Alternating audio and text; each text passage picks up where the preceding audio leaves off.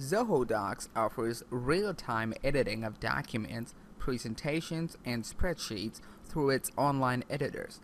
Two or more people can edit the same document at the same time and see the changes almost immediately.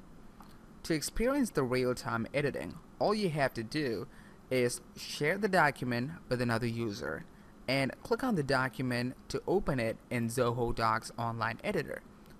Here it opens up my new document in Zoho Writer. And if I start adding text, and if the other user opens up the document now, he can see the changes that I'm making real time on his screen. And if he starts editing the document, I can see the changes what he is making here in my view of the document.